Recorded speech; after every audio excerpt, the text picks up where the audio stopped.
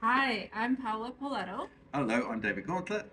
and we're here to talk about the Sounds of Wonder, a project that uh, David and I have been working on. What is it, David?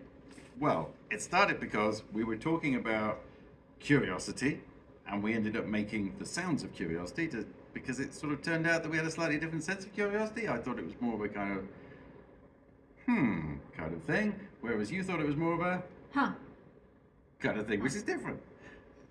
And we communicate some sense of like how we understand this whole concept thing just by making sounds. So, Yeah.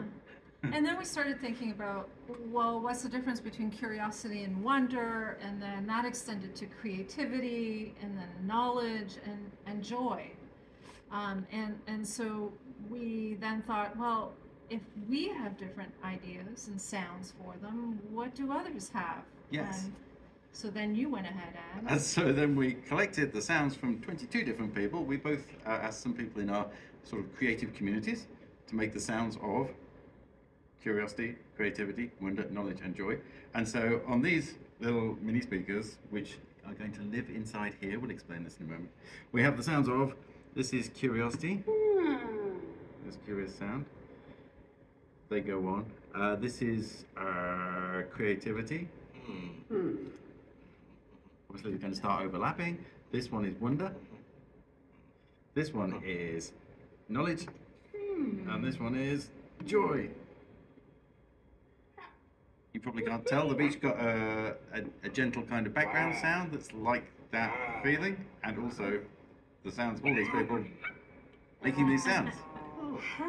And so they go into these um, these objects that um, were happening at the same time as we were collecting the sounds, and and I started to think about uh, my work with David uh, within the doctoral program, and and how I was sort of receiving as as a as a PhD student all this amazing information as if it was coming to me uh, via a megaphone, and then it was my job to kind of distill it into a smaller one.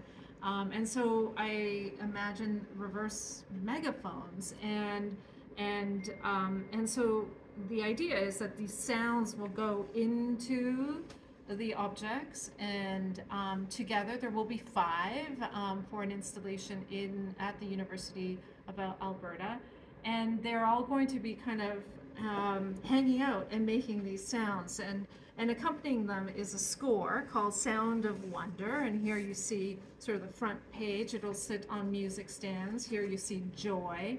Um, and the idea is that people will sort of have a sense of like um, some key words that I think resonate for you and I and, and I hope for others as well. And like together they create a kind of feeling. Yeah. And we're not exactly labeling them, so you can have it could spark a conversation about which one is creativity, which one is wonder, and which one so on.